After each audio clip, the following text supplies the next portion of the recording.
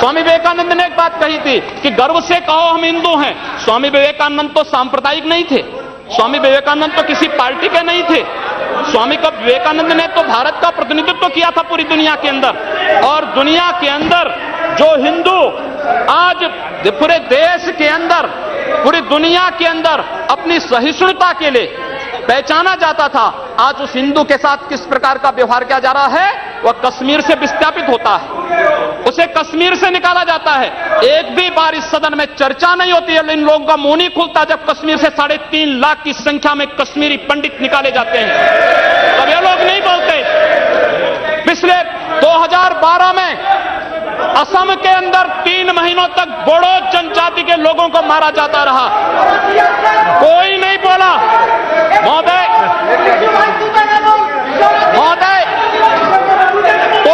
बोला। जम्मू कश्मीर के बाद, जम्मू कश्मीर के हिंदुओं के मारने पर कश्मीरी पंडितों को उनके घरों से बेदखल कर दिया गया। एक भी बार ये लोग बोले नहीं। इनको पीड़ा नहीं हुई। दुनिया के अंदर ये अपने आप में बिरला उदाहरण था, जहाँ पर अपने ही देश में अपने ही जानने वाले लोग विस्थापित होकर के खाना बदोश की ज़िंदगी जी रहे हैं। उस शर्मनाक घटना की निंदा एक भी बार इन लोगों ने नहीं की। मुंबई के दंगों पर ये लोग मौन रहे। जमशेदपुर और भागलपुर के दंगे कांग्रेस के समय हुए थे। एक भी बार इन लोगों ने उस पर चिंता व्यक्त नहीं की।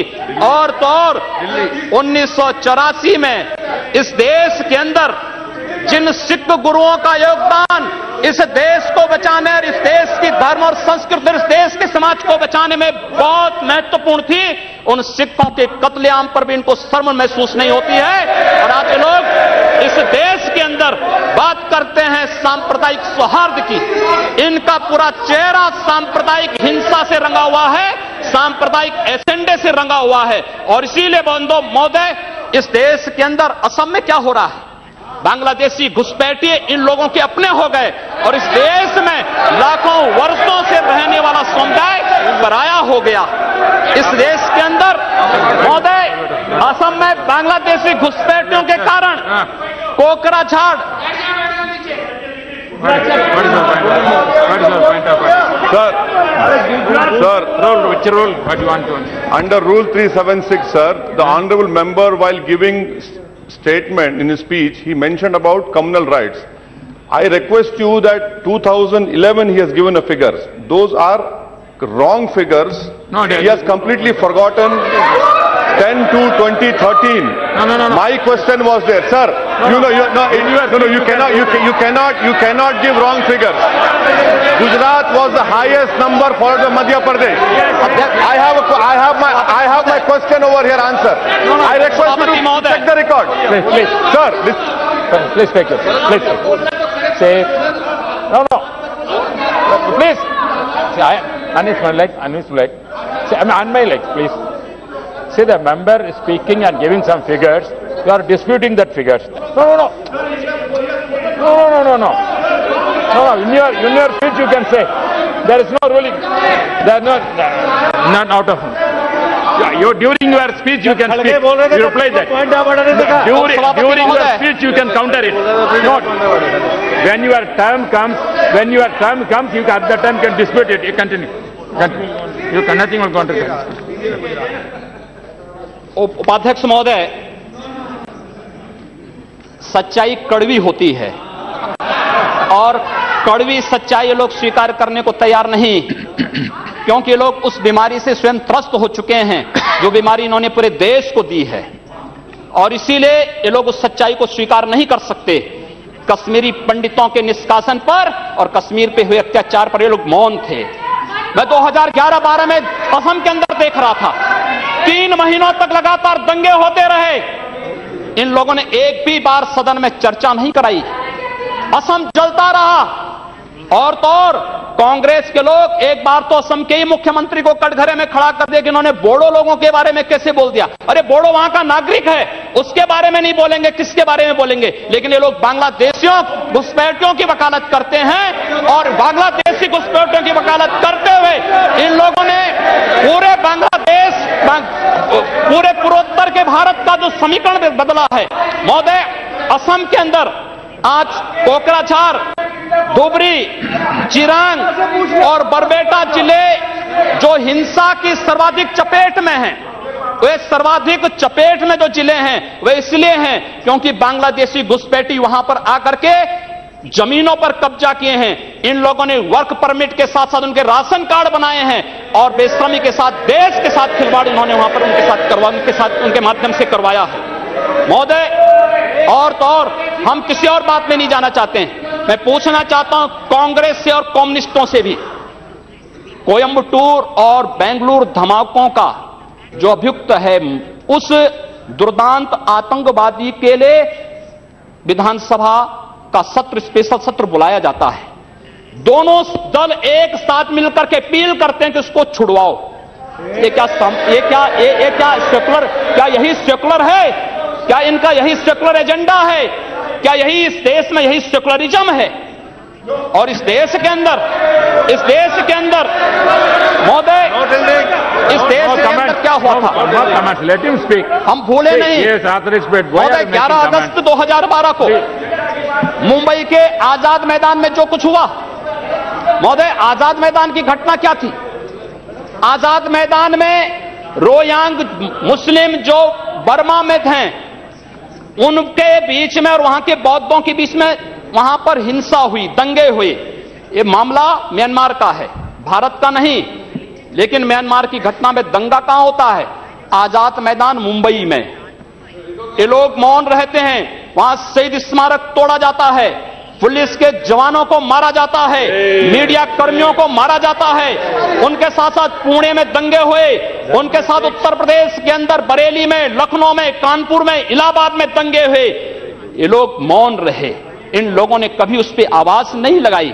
ये लोग मौन रहे उस घटना पर। ये वही लोग हैं जो आज़ाद मैदान की घटना पर मौन थे और बाबा रामदेव पे उन सत्याग्रहियों पर ये लोग रामला मैदान पे लाठी चार्ज करके बेश्रमी के साथ वंदे मातरम का गान करने वाले लोग, करने वाले देशभक्तों पर लाठी चार्ज करते हैं। ये लोग देश के अंदर सांप्रदायिक हिंसा की बात करते हैं। सांप्रदायिक हिंसा किसने फैलाई है? कौन फैला रहा है इस देश के अंदर? कौन इस देश के अंदर सच्चर कमेटी के नाम पर समाज को बांटने का कार्य कर रहा है? इन लोगों ने सांप्रदायिक आधार पर उन्नीस सौ सैंतालीस में देश को बांटा है और आज पुनः देश को बांटने की साजिश के तहत पाकिस्तान के एजेंडे पे ये लोग कार्य कर रहे हैं। और इसलिए महोदय, जब उत्तर प्रदेश के अंदर की जो घटनाएँ आई हैं, उन घटनाओं पर अगर आप नज़र डालेंगे, महोदय, जो घटनाएँ हुई हैं, उन घटनाओं के बारे में अगर मैं आपके सामने रखूँ तो घटनाएँ अपने आप में चौंकाने वाली घटनाएँ हैं। और वे चौंकना वाली घटनाएँ कितनी खतरनाक हैं। what. Sir, Rule 380. I'm quoting. No, no, I will ask. Rule 3. Sir, sir, sir, sir. I am raising a point of order. While speaking, the member already made a defamatory statement. If the speaker is of the opinion that words have been used in debate which are defamatory or indecent or unparliamentary or undignified, he used the word that we we already raised the issues of communal violence.